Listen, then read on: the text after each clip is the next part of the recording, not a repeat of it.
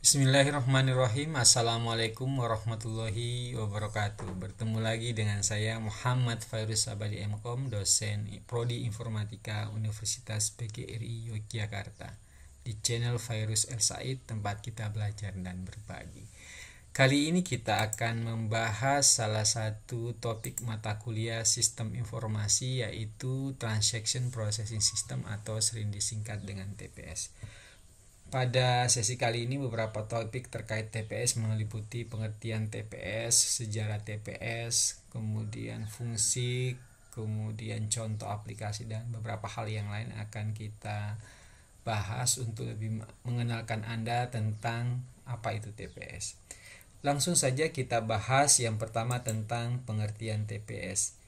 Jadi sistem pengolahan transaksi ya kalau dalam bahasa Indonesia-nya atau dalam bahasa Inggrisnya Transaction Processing System. Nanti berikutnya sudah kita singkat dengan istilah TPS ya atau TPS saja. Jadi adalah sebuah sistem yang merupakan pintu utama dalam pengumpulan dan pengolahan data pada suatu organisasi. Jadi sistem informasi yang di atasnya ya karena sistem informasi itu sebenarnya ada levelnya dilihat dari informasi yang dihasilkan maka TPS ini merupakan uh, bagian paling dasar dari sistem informasi yang lain karena berfungsi untuk mengumpulkan data. Sebagai, contoh misalkan sistem informasi manajemen ini jelas harus didukung oleh sebuah sistem informasi pengolahan transaksi ya. Jadi sistem inilah yang berinteraksi langsung dengan sumber data misalnya pelanggannya. Jadi misalkan ketika ada uh, pembelian ya sistem ini yang melakukan proses uh, pemasukan data pembelian tersebut. Nah, kemudian tugas utama TPS adalah mengumpulkan dan mempersiapkan data untuk keperluan sistem informasi yang lain dalam organisasi, misalnya kebutuhan sistem informasi manajemen atau kebutuhan sistem informasi uh, eksekutif. Jadi dia menjadi dasar dari sistem informasi yang lain. Kemudian sejarah TPS ini di awal-awal ya adanya superkomputernya. Ya walaupun sebenarnya ke kecepatannya tidak melebihi uh, handphone sekarang ya. Jadi ini luar biasa dulu ya komputernya satu ruangan gitu ya. Ini contohnya adalah sistem Amerika Airlines Sabre ya, Sabre ya yang mulai beroperasi tahun 1960 dirancang untuk memproses hingga 83.000 transaksi per hari ya. Jadi luar biasa jumlah yang bisa di uh, dilayani dalam satu hari ya. Sistem ini bekerja pada dua komputer IBM 7090 ini gambarnya bisa anda lihat jadi satu komputer. Jadi untuk penyimpanan datanya ini menggunakan sekuensial ya berupa pita magnetik ya jadi satu ruangan. Jadi hard disk yang sekarang hanya seukuran uh, seperti ini ukurannya bisa sa satu ruangan ya zaman dulu ya. Nah tapi ini sudah uh, luar biasa karena kemajuan yang luar biasa karena bisa menangani jumlah transaksi yang sangat banyak dalam satu hari. Kemudian yang berikutnya uh, Hewlett Packard ya sistem nonstop. Dulu namanya tandem ya tandem nonstop adalah hardware atau software. Jadi software sekaligus hardware yang khusus untuk online transaksi processing. Jadi tidak melakukan proses batch jadi langsung eh, data-data transaksi itu masuk dan disimpan di dalam basis data. Jadi sebuah kemajuan sekali ya dari tahun 72 ini ke 76 ini. Yang pertama itu masih sifatnya batch file kemudian udah di tahun 1976 sudah mulai diperkenalkan online uh, transaction processing ya atau OLTP Selanjutnya apa sih karakteristik dari sistem pemrosesan transaksi? Yang pertama adalah bisa mengolah data besar ya. Jumlah data yang diproses sangat besar tentu saja memerlukan uh, penyimpanan dengan kapasitas yang besar juga karena data yang diolah banyak tentu saja memerlukan wadah yang juga besar ya. Nah, sekarang teknologi sudah sangat berkembang ya. Teknologi penyimpanan data itu sangat uh, sangat berkembang ya ada teknologi namanya sekarang uh, eh, SSD ya di mana proses uh, penyimpanan datanya itu juga uh, sangat cepat. Jadi seperti kecepatan RAM ya tapi daya tampungnya itu seperti hard disk ya. Jadi luar biasa jadi cepat dan dengan kapasitas yang besar Kemudian uh, data internal, sumber data umumnya internal dan keluaran terutama dimaksudkan untuk pihak internal. Jadi ini sistem ini sebenarnya untuk uh, lebih ke pengelolaan uh, data internal ya, betul-betul transaksi harian. Misalkan untuk di penjualan ya, itu kemudian di mana namanya di kalau di kepegawaian ya mungkin mengatur gaji, presensi seperti itu hal-hal yang rutin yang transaksinya bersifat harian dan itu untuk pengelolaan internal. Kemudian datanya rutin ya bisa harian mingguan dan sebagainya. Jadi sesuatu yang memang transaksinya itu continue ya teratur setiap hari setiap minggu dan seterusnya. Kemudian kecepatan pemrosesannya diperlukan tinggi karena volume yang besar ya seperti tadi ya.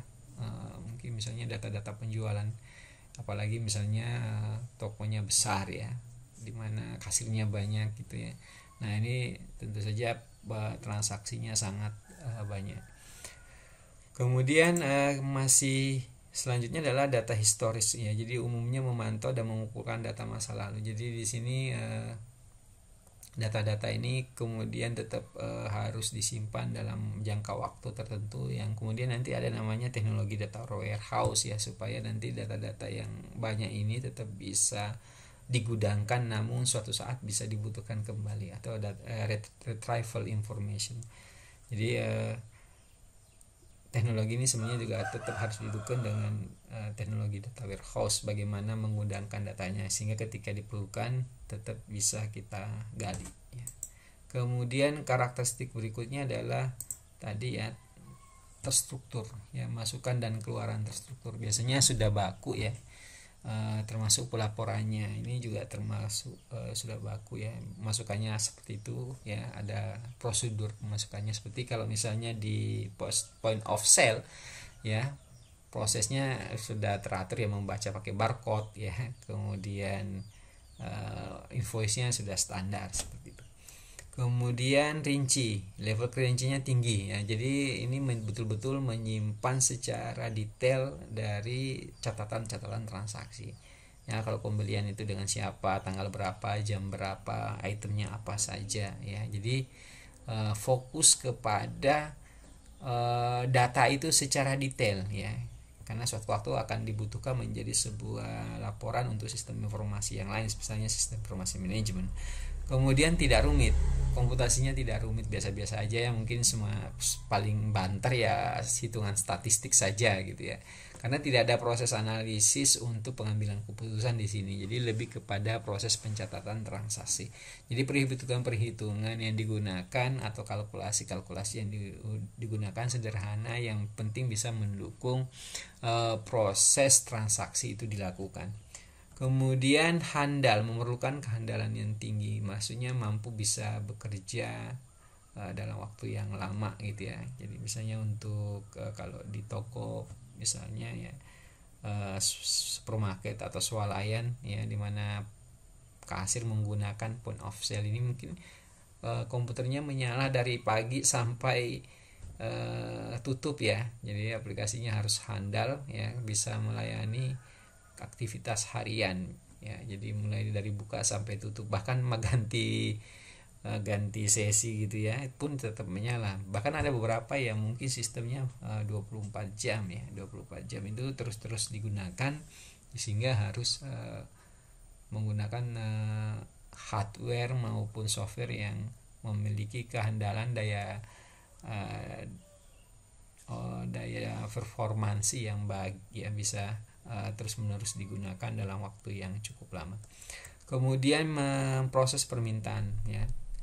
Jadi pemrosesan terhadap permintaan merupakan suatu keharusan. Pemakai dapat melakukan permintaan terhadap basis data. Jadi bisa juga mengambil uh, query dari informasi atau data yang telah tersimpan di dalam basis data. Kemudian karakteristik uh, TPS ya atau sistem pemrosesan transaksi ini dibandingkan dengan sistem yang lain ya. Dari sisi rutinitas ya jelas eh, TPS lebih banyak ya kalau semakin ke atas ya karena fokusnya di data ya. Ya semakin sedikit ya. Jadi lebih kepada hal-hal yang rutin tapi untuk hal-hal yang uh, untuk yang yang semakin ke atas ya. Jadi kalau yang ini jadi dibagi atas tiga ini contohnya ya. Transaction processing system kemudian MIS MIS itu Management Information System DSS itu Decision Support System kemudian Knowledge Management atau sistem informasi khusus ya. Nah untuk semakin ke atas ini maka yang penanganan untuk yang sifatnya rutin itu semakin sedikit semakin ke bawah ya itu akan semakin lebih banyak. Jadi TPS akan lebih rutin dibanding dengan MIS. MIS lebih rutin dibanding uh, Knowledge Management System atau KMS ya. Nah, dari sisi pengambilan keputusan TPS ya semakin ke bawah ya semakin kurang ya untuk mendukung keputusan, semakin ke atas semakin uh, dibutuhkan. Jadi semakin mendukung. Jadi kalau MIS ini fokus kepada laporan, kemudian DSS ini Eh, memberikan alternatif keputusan sedangkan knowledge management system biasanya sudah memberikan rekomendasi yang cukup jelas tentang pengambilan keputusan manajemen. Nah, untuk uh, input dan output ini uh, eh, TPS lebih banyak ya. Kemudian yang semakin ke atas ya MIS DSS dan KMS ini tentu saja uh, tidak lebih banyak proses inputnya karena fokus kepada uh, support decision ya pengambilan keputusan. Nah, kemudian untuk uh, proses analisis ya, kompleksitas analisis tentu saja uh, eh, TPS tidak ya. Sedangkan yang lain tentu saja karena ini pengambilan lebih kepada pengambilan keputusan baik itu uh, taktis maupun strategis, tentu saja analisis itu lebih banyak untuk sistem informasi yang ada di atasnya.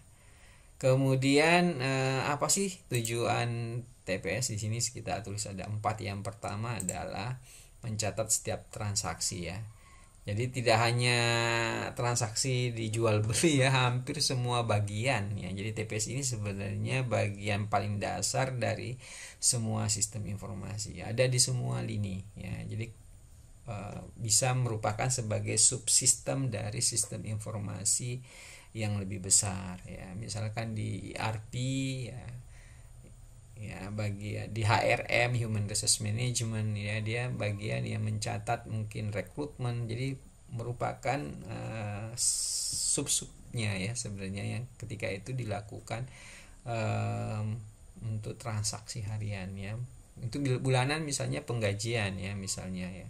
Jadi hampir ada di sebuah semua lini ya di sini kemudian transaksi tidak terbatas ya. Misalnya kalau di pembelian tidak terbatas hanya penjualan. Ketika terjadi perubahan angka ya kemudian ada pembelian barang pengurangan stok terjadi kerusakan atau kehilangan stok termasuk di dalamnya adalah sebuah proses transaksi Kemudian yang berikutnya adalah menyediakan informasi atas kegiatan operasional dengan akurat dan tepat waktu. Jadi e, memberikan laporan, mencatat. Jadi tidak hanya mencatat tapi juga memberikan laporan. Tetapi tentu saja e, sifat informasinya di sini bersifat baku ya.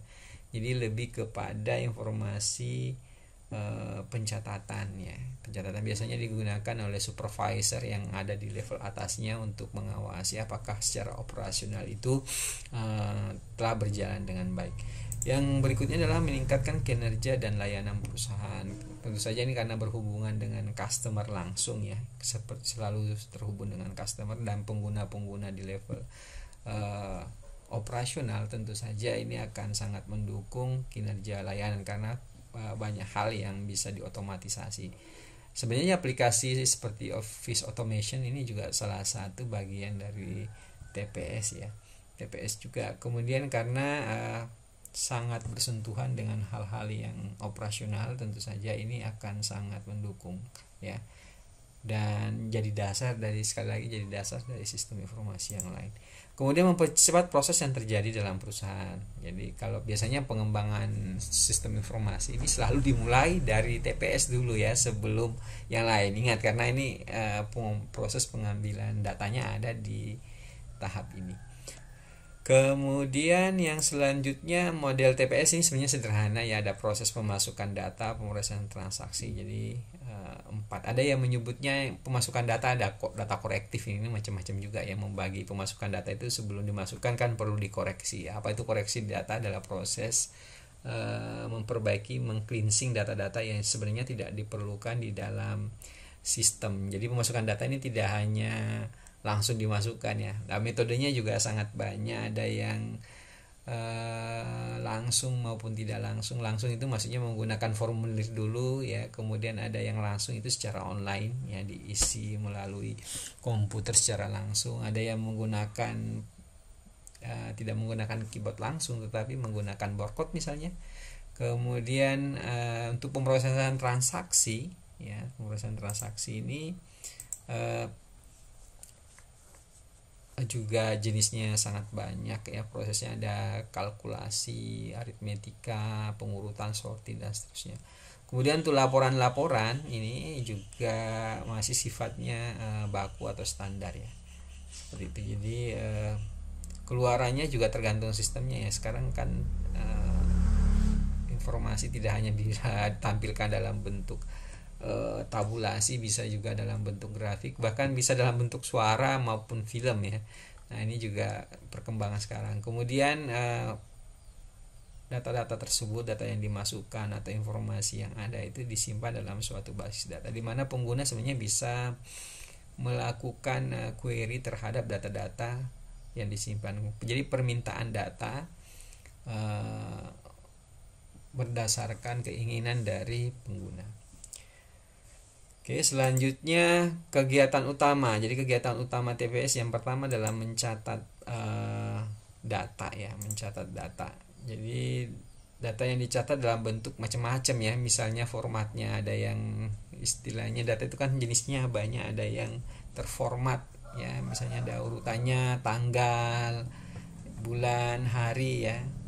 Itu ada urutannya ya, misalnya tanggal eh, tanggal, bulan, tahun misalkan atau kode-kode tertentu ya. Misalnya kode barang ya. Mungkin barcode juga punya uh, aturan penulisan ya. Jadi kadang-kadang uh, suatu data itu memiliki uh, format tertentu di dalam penyimpanannya. Kemudian dari sisi jenisnya ya. Jenis data itu juga sangat banyak ya. Proses mencatatnya berarti bisa kalau tulisan bisa lewat keyboard ya. Atau kode bisa menggunakan barcode. Kalau suara menggunakan mikrofon ya ini kemudian mungkin e, berupa gambar bisa foto atau scanner ya ketika data bisa disimpan dalam berbagai bentuk ya.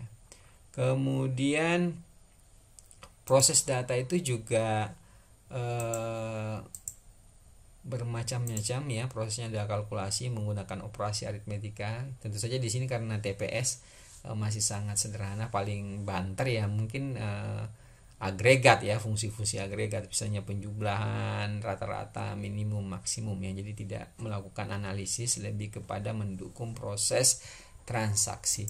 Kemudian pengikhtisaran ya di pengikhtisaran itu agregat ya tadi ya. Jadi perhitungan dengan mengakumulasi beberapa data sekaligus misalnya penjumlahan rata-rata bulanan rata-rata harian ya seperti itu kemudian atau menjumlahkan ya menjumlahkan untuk uh, sejumlah data ya dalam satu waktu atau kurun waktu tertentu atau periode tertentu.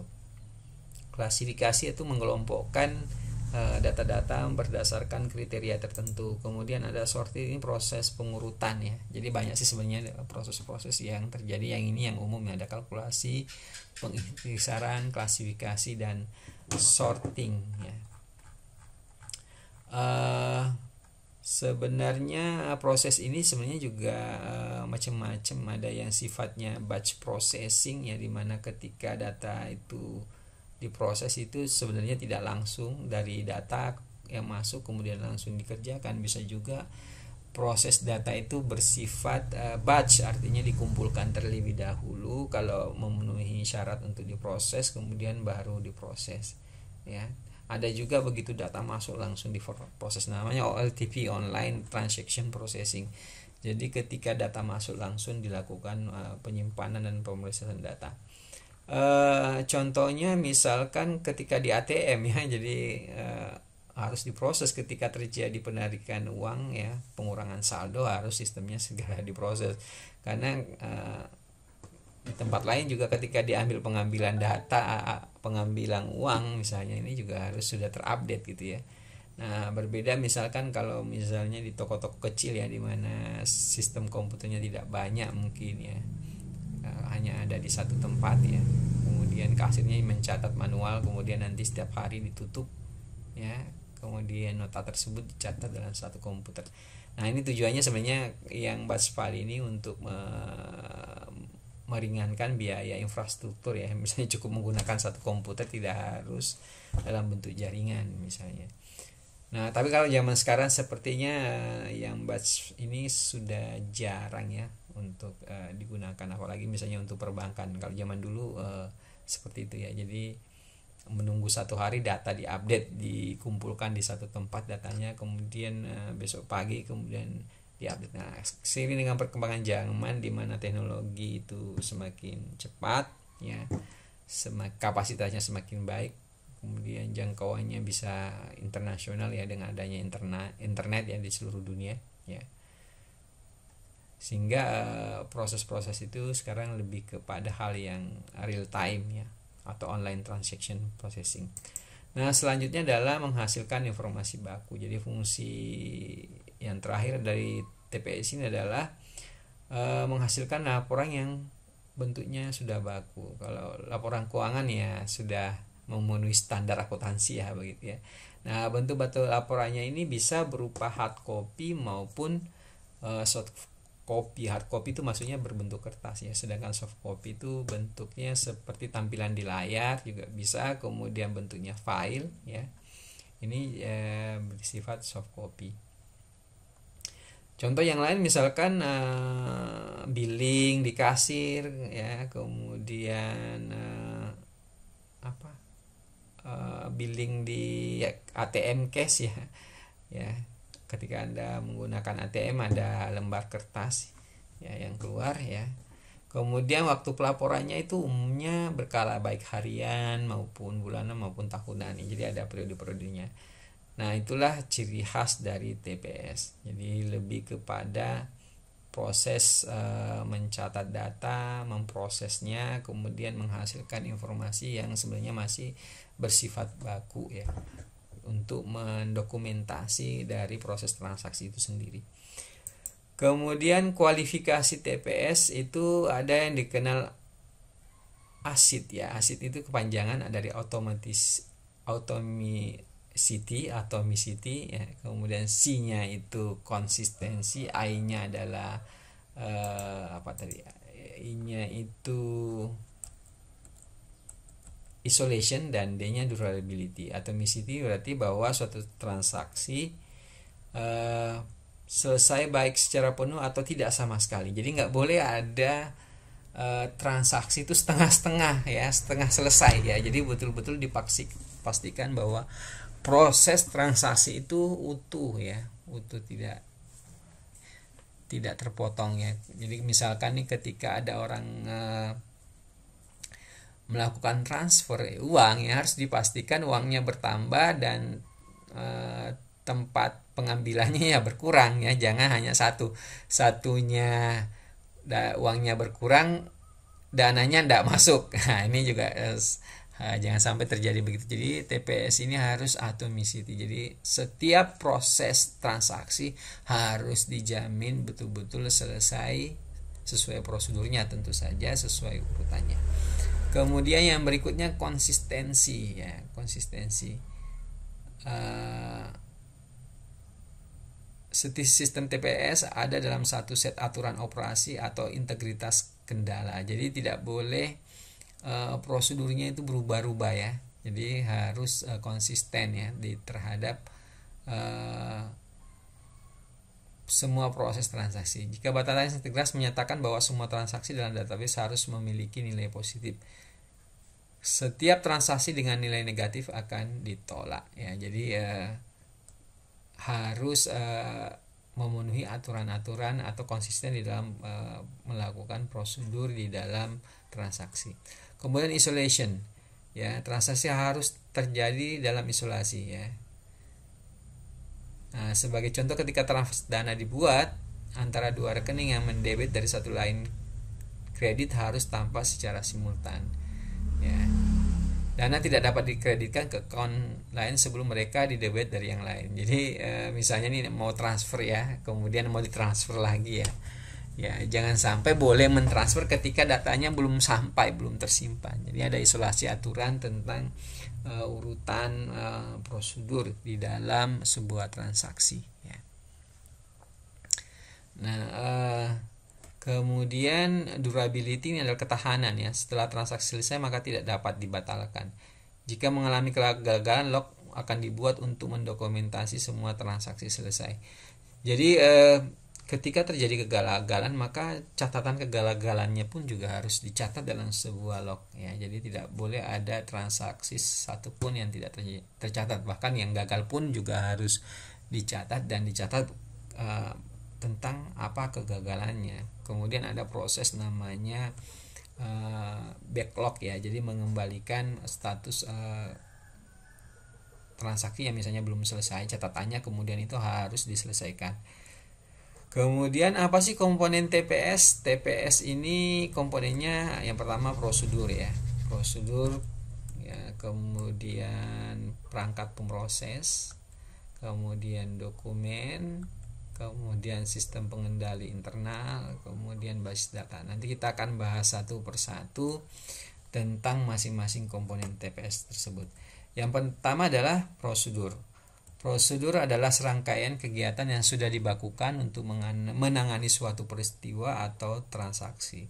Serangkaian kegiatan ini terdiri dari beberapa urutan langkah yang tidak dapat dibalik. Jadi dia sequence, jadi tidak boleh ditukar-tukar ya prosedurnya. Jadi ya proses pembelian itu seperti apa? Ambil barang, kemudian antri di kasir, kemudian di kasir itu datanya dimasukkan misalnya, ya kemudian dilakukan perhitungan kemudian pembayaran dan seterusnya. Jadi nggak boleh dibalik-balik bayar dulu baru ambil barang ya. Nah seperti ini tidak boleh. Ya kemudian yang berikutnya nah, ini tadi ya uh, sudah saya contohkan pembeli membeli mengambil barang membawanya ke kasir membayar ya membawa keluar uh, belanjaannya. Nah urutan langkah ini tentu saja uh, tidak dapat ditugar ya. Nah, nah seperti itu. Kemudian perangkat pemroses TPS bertugas mencatat dan memproses data dalam jumlah besar ya.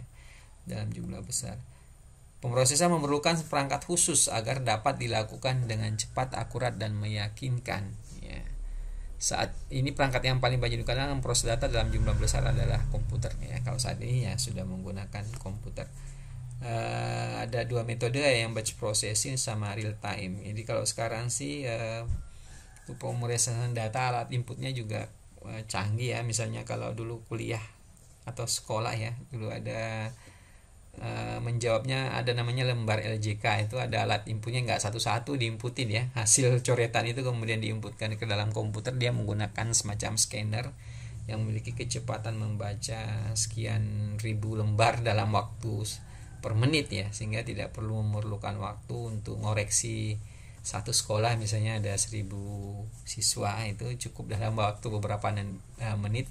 Informasi tentang jawabannya itu sudah bisa masuk ke dalam sistem e, misalnya di point of sale misalnya ketika anda belanja di supermarket itu tidak perlu kasir memasukkan data-datanya kodenya itu satu persatu kecuali memang sistem nggak bisa membaca ya kadang-kadang mungkin tercatat atau barcode-nya sedang rusak atau barcode yang nempel di barang tersebut mengalami kerusakan itu baru kemudian dilakukan penginputan secara manual. Nah, sekarang alat-alat seperti itu juga semakin banyak ya. Nah, secara umum tadi eh, proses itu dilakukan dengan dua cara ya. Nah, bedanya apa sih sebenarnya antara batch processing dengan eh, OLTP ya, online transaction processing. Yang pertama adalah transaksi ditumpuk dulu dan kemudian diproses belakangan pada waktu tertentu misalnya pada waktu sore hari atau malam hari jadi misalnya ini kalau di toko gitu ya mungkin tokonya nggak besar gitu ya kasirnya banyak tapi tidak banyak punya banyak komputer hanya punya satu komputer nah, dilayani pakai. Tapi sekarang kayaknya nggak mungkin ya sudah jarang-jarang karena di mana komputer harganya murah ini cuma sebagai contoh kali ini. Sebenarnya uh, proses baca ini sudah sangat jarang ya. Nah Eh, kemudian nota tersebut uh, atau invoice tersebut dikumpulin pada sore hari ya baru dimasukkan ke dalam komputer sebuah komputer gitu ya. Jadi tidak ada bentuk jaringan ya. Sehingga dari beberapa kasir kemudian dikumpulkan baru datanya dimasukkan. Kemudian kelemahannya adalah e, membuat basis data tidak pernah dalam keadaan terkini ya. Proses transaksi berjalan kan tidak langsung dicatat, menunggu nanti ya ketika e, prodi penyimpanan datanya itu dilakukan ya. Sehingga pihak manajemen tentu saja tidak bisa memantau secara e, real time e, kondisi transaksi yang terjadi. Kemudian pemrosesan real time atau tadi sering juga kadang-kadang disebut pemrosesan online atau OLTP online transaction processing ya. Jadi di sini tidak ada penundaan pemrosesan, jadi langsung ya, langsung masuk gitu ya, hanya di bawah satu detik ya. Nah itu disebut sebagai sesuatu yang real time. Jadi data masuk langsung tersimpan. Setiap transaksi terjadi segera dibukukan sehingga data selalu dalam keadaan mutakhir ini uh, kalau dipantau oleh pihak manajemen maka transaksi detik itu juga bisa langsung diketahui ya uh, misalnya tingkat penjualan dalam satu hari itu ya bisa langsung. Pada saat itu bahkan belum selesai harinya bisa tahu sudah berapa hingga jam sekarang itu sudah berapa uh, jumlah transaksi yang dilakukan misalkan. Kemudian eh, dokumen, dokumen adalah media yang digunakan untuk mencatat dan menghasilkan informasi. Nah, tadi ini sebenarnya bisa berupa keluaran dari TPS ya. Jadi dokumen ini bisa berupa hard copy maupun soft copy ya tampilan di layar maupun eh, file atau bentuk-bentuk yang lain ya seperti suara ya. Sekarang ada namanya asisten virtual ya. Ya ini juga atau eh, bisa menjawab otomatis gitu ya sekarang ya jadi seperti itu uh, dokumen yang digunakan untuk menyampaikan informasi atau menyampaikan perintah kepada yang lain. Jadi uh, dokumen itu bisa saja uh, sekedar laporan atau berupa instruksi. Nah biasanya kalau instruksi itu dari pihak yang lebih tinggi kalau laporan itu dari yang bawah ke atas ya misalnya. Jadi di piramida manajemen itu biasanya kalau dari bawah ke atas itu berupa laporan kalau ke bawah itu berupa instruksi nah untuk e, sistem pengendalian internal ini merupakan ber, berbagai perangkat dan prosedur yang digunakan perusahaan untuk menjamin agar sistem informasi tetap dapat digunakan dengan baik. Jadi e, sistem ini sebagai asuransi ya sebagai penjamin e, sebuah proses itu bisa berjalan sesuai dengan uh, aturannya ya aman ya dan uh, tetap bisa bekerja di waktu-waktu yang mungkin puncak maupun terjadi kendala-kendala uh, misalnya bencana dan seterusnya yang ini bisa diantisipasi. Jadi uh, tujuannya agar tetap terjaga kualitasnya sistem informasi harus dilengkapi dengan sistem pengendalian internal ini menjadi sesuatu yang wajib ya di dalam sebuah sistem ya karena kalau tidak terkendali informasi bisa saja eh, data-data yang dikelola itu menjadi tidak benar ya. Kemudian disalahgunakan misalkan dan seterusnya. Kemudian tujuan utama dari sistem pengadilan internal adalah melindungi harta kekayaan perusahaan baik yang berwujud maupun tidak ya. Ya. Jadi di sini harus menjamin hak akses juga ya. Jangan sampai sesuatu yang tidak menjadi hak aksesnya kemudian bisa diakses ya meningkatkan kehandaan dan kualitas informasi yang dihasilkan oleh sistem meningkatkan efisiensi dan efektivitas kegiatan perusahaan kemudian meningkatkan kepatuhan terhadap kebijakan perusahaan. Ya ada empat ya tadi ya. Kemudian proses dalam sistem pengendalian internal yaitu komitmen atau perhatian manajemen puncak untuk menyelenggarakan sistem pengendalian jadi pengendalian ini harus betul-betul uh, komitmen dari puncak ya harus konsisten di dalam penerapan SOP misalkan. Lingkungan pengendalian yang kondusif sehingga memudahkan dilaksanakannya sistem pengendalian. Jadi kalau SOP-nya jelas, kemudian itu uh, istinggo istiqomah gitu ya dilaksanakan, tentu saja akan memudahkan uh, uh, pelaksanaannya. Kemudian komunikasi yang baik di antara pihak yang memakai sistem pengelolaan transaksi. Dengan adanya prosedur yang jelas, pengendalian uh, ini tentu saja uh, tidak terjadi ambigu di dalam pelaksanaan uh, pelayanan transaksi gitu ya. Kemudian monitoring terhadap pelayanan sistem maupun pengendalian tentu saja perlu diawasi setiap kegiatan transaksi di dalam sistem ya supaya dapat uh, terpantau dan bisa dievaluasi ya uh, jika terjadi kendala-kendala ataupun hal lain yang sekiranya dapat mengganggu proses uh, transaksi terjadi. Kemudian evaluasi terhadap penyelenggaraan sistem. Jadi ini lima hal yang menjadi uh, proses di dalam sistem pengendalian internal. Kemudian uh, komponen TPS berikutnya adalah basis data. Basis data adalah kumpulan tabel yang saling berkait ya. Sebuah tabel berisi data sejenis misalnya tabel barang berisi data barang secara lengkap tabel karyawan berisi data karyawan secara lengkap dan seterusnya. Jadi eh, data-data yang diinputkan ke dalam TPS ini kemudian disimpan dalam sebuah basis data biasanya dalam bentuk tabel ya. Tabel itu terdiri kolom dan baris ya. Kemudian antara satu tabel dengan tabel yang lain tentu saja punya kehubungan ya. Punya relasional misalnya pegawai dengan gajinya ya barang dengan stoknya, kemudian penjualannya, pembeliannya dan seterusnya. Nah, tentu saja sistem informasi ini memerlukan basis data karena yang menyimpan datanya ya. Nah, nah, basis data yang disimpan dengan baik tentu saja akan menghasilkan informasi yang baik juga. Banyak metodologi yang dipakai di dalam proses penyimpanan uh, basis data ya mungkin Anda bisa pelajari di konsep basis data. Kemudian uh, kita juga belajar berbagai jenis aplikasi dari uh, TPS ya, jenis subsistem TPS yang pertama payroll ini pembayaran upah atau gaji karyawan, order entry mencatat pembelian untuk konsumen ini di point of sale ya namanya. Kemudian invoicing menghasilkan faktur pembelian maupun penjualan. Inventory mengelola barang yang supaya selalu tersedia. Kemudian shipping ini menyerahkan barang dari perusahaan sampai diterima uh, oleh konsumen pengiriman barang ya. Kemudian biasanya melalui kurir. Akun account receivable mengelola file atau konsumen menyerahkan tagihan ke konsumen. Purchasing mengkoordinasi pembelian barang kepada uh, konsumen.